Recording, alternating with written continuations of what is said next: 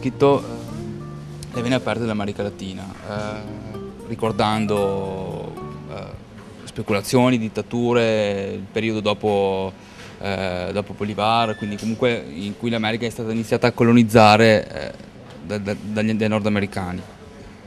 E adesso che in America stanno arrivando delle figure nuove, eh, Morales, Lula, ehm, Chavez, eh, fanno, que- queste figure, la Bachelet, fanno sperare eh, in democrazie vicine alla gente o, è solo- o questa è solo un'apparenza? Secondo la grande media, la grande fabbrica dell'opinione pubblica mondiale, è teatro, ma secondo la realtà è molto più che, che un teatro. Recentemente c'era questo plebiscito revocatorio, referendum revocatorio di Evo Morales nella Bolivia. Poco prima, qualche tempo prima, un altro referendum revocatorio di Hugo Chavez in Venezuela. E le due hanno acquistato una maggioranza importante della popolazione, che è la prova di che non sono impopolari, come si dice che sono. In Bolivia quasi 7 di ogni 10 boliviani confermano Evo Morales nel potere. E questo significa che, che la media, la grande media mente, perché sono popolari e sono democratici. Io ti domando, e tu mi rispondi, qual è il presidente europeo che nelle secoli, degli secoli, degli secoli ha fatto, ha fatto un referendum revocatorio per dire al popolo se le vuole io continuo nel potere, ma se non vuole io me ne vado. Qual è il presidente europeo che lo ha fatto? Credo non esista neanche uno, non so. Non... esiste democrazia Beh, s- eh, spesso ormai le democrazie... Perché hanno questa, questo vizio di, di prendere, di tomare esame nel resto del mondo per decidere chi è democratico e chi non è democratico? Visto di sopra tutti siamo enano, nani, nani si dice enanos, così, e visto di sotto tutto sono giganti. no? Bisogna recuperare l'orizontalità della visione umana. E questo è il vero esercizio della solidarietà, è l'unica possibilità di vedere all'altro. Non l'immagine che dell'altro si c'è, ma l'altro vero. Però in questa era della comunicazione, dove comunque il media ha un potere eh, potentissimo rispetto a una volta, insomma, ha iniziato a parlare di media e con i giornali Orson Welles col suo Citizen Kane, eh, il quarto potere. Ma ora, in cui magnati come Berlusconi e Murdoch riescono a manipolare facilmente la gente, lei pensa che ci sia una speranza per il futuro, anche per la politica futura, di riuscire ad appiattire il, dire, il livello tra la gente e, e- e creare più equità nella- nella società? Io non lo so, ma c'è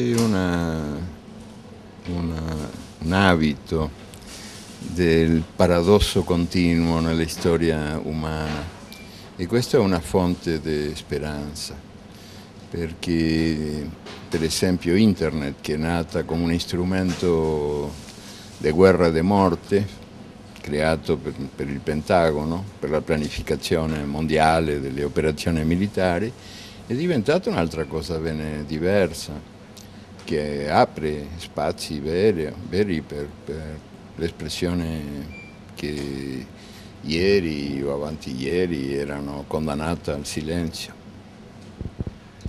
Passiamo a un argomento diverso che però si lega comunque eh, col concetto di eh, popolo, di, di gente, di massa. Eh, il calcio, in Sud America il calcio è sempre stato molto importante, il football ha creato dei miti inossidabili come Pelé, eh, Garrincia, Diego Armando Maradona, ha, ha, dato la possibilità di sognare a un sacco di ragazzi, di fa, poterli farli uscire per un attimo dalla miseria, facendo giocare per strada e tutto questo.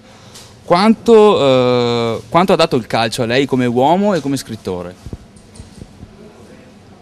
Io, come tutti gli uruguayani, sono nato gritando gol, tutti, tutti gli uruguayani, il bebè, il maracanasso, l'Uruguay, tutti, no, in, nelle, nelle, cliniche di maternità dove, dove le bebè sono nascite, è impossibile di, di soffrire questo rumore continuo di gol, gol, gol, perché il grido, la prima parola di tutto il bebè uruguayano e anche la mia. Io volevo essere giocatore di calcio, ovviamente, ma era un disastro totale, una vergogna del mio, della mia patria. In che ruolo giocava? E entre ala derecho in questo tempo qualcosa come un 8, numero 8. No, non, sì, numero 8, era un numero 8, ma era un disegno del gioco interamente diverso del disegno attuale, no? E anche il vocabolario, il nome di ogni giocatore era diverso. Ma eh, come, come, io non, non, non avevo altro, altro, remedio che assumere la mia impotenza, ho diventato scrittore, tentando fare con la mano quello che non poteva fare con le gambe. Ma quello che io volevo è fare con le gambe, non con la mano. E bueno, io sono resignato a questo triste destino di essere un scrittore. E... Essere Peledona, che era il migliore giocatore della storia. La sintesi di Pelé e Maradona, Peledona. Io volevo essere Peledona. Ma poteva magari anche accontentarsi di essere un, un condottiero all'Abdulio Varela in campo, sebbene non fosse un grandissimo talento, però aveva un gran cuore e una grande anima che è riuscito a assieme alla sua squadra a, compi a compiere l'epocale impresa del Maracanazo, della, della grande vittoria nel, allo stadio Maracanã contro, contro il, quel grandissimo Brasile e rese l'Uruguay famoso in tutto il mondo per quel titolo insperato e importantissimo. Eh. per me Maracanã è ricordabile come una giornata molto rara nella storia del calcio nella storia dell'umanità, perché l'autore della vittoria uruguayana, che fu questo Obdulio Varela, il capitano, eh, ho passato la notte, la notte intera eh, de bar in bar, eh, de birra in birra, abbracciando i vinti, i vinti. Lui che era il vincitore e tutti piangevano. Ah, foi colpa di Obidulio, foi colpa di Obidulio. E lui non aveva il coraggio di dire Obidulio sono io, ma sentiva una, una pena, una compassione immensa per tutta questa povera gente. Come lui, lui aveva fatto una cosa così crudele, no? Lui lo odiava, quando era questo mostro di 200.000 testi, un mostro ruggente, terribile, il Maracanã, lo stadio più grande del mondo, la più grande eh, moltitudine, si dice moltitudine, eh, riunita nella storia del calcio, 200.000 200 persone.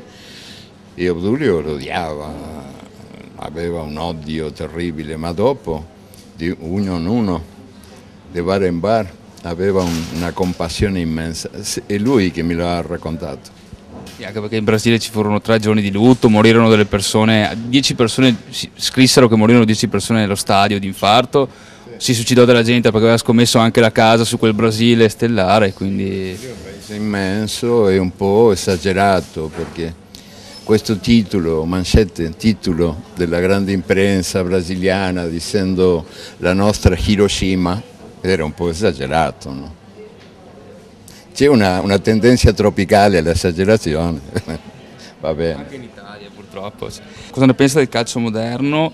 E eh, visto che comunque questo calcio è segnato da un potere eh, mediatico, economico che si, si, differenzia rispetto al calcio di una volta, è regolato dal buonismo, dalla fassioneria, dal gossip, quanto che immagini userebbe per, per, descrivere il calcio moderno, insomma, e quanto, quanto questo è lo specchio della società odierna? Il calcio professionale, no? c'è un altro che non è... C'è un calcio che è rimasto un po'... Eh, l'allegria di giocare per giocare, per, per il piacere di, gio di giocare è, è, è reale, ancora reale, ma soprattutto fuori dello spazio professionale, perché nello spazio professionale il calcio è molto drogato, drogato per l'obbligo di guadagnare, guadagnare e per la proibizione di perdere. E adesso non è più un piacere, è diventato un dovere. Non potrebbe più esistere un Peregrino Fernandez? Eh. No, ancora, ancora è possibile questo miracolo che io non so se è una prova dell'esistenza di Dio o dell'esistenza del diavolo, ma è ancora possibile, il miracolo è ancora possibile. Ok, grazie.